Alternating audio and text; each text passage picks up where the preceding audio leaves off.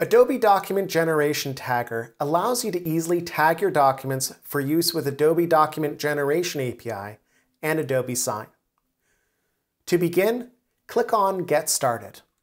You'll be prompted to paste or upload a sample dataset. This is used to create tags you can insert in your document templates. Your sample data needs to be in JSON format. It supports nested data objects, arrays, and base64 data, so you can use raw data from most APIs. In this example, we'll copy our JSON sample data here and paste it into Adobe Document Generation Tagger. Once you're ready, click Generate Tags. Now you should see a list of tags you can choose from. To add a tag, place your cursor where you want to place a tag. Search for a tag name in the search field. Select your tag and click Insert Text. It's that simple.